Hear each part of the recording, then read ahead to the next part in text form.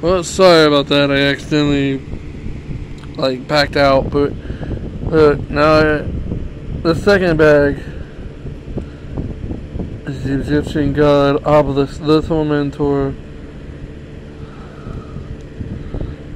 That's pretty cool. Focus.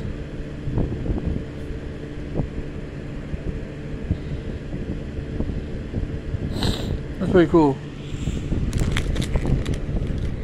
Alright, bag number three. In case I didn't say in the last video because I actually backed out. Uh, hoping I don't get like three, the same thing, which I already have avoided, luckily. So, here's number three The Dark Magician Girl.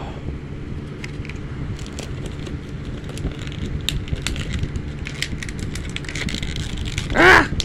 Out! There we go.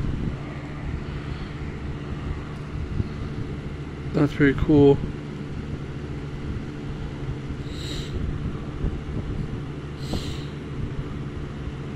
It's a little pokey right here. That's awesome. So we have the Blue Eyes White Dragon. Pretty awesome. The Dark Magician Girl. And Obelisk the Tormentor. If you like this video, give it a thumbs up.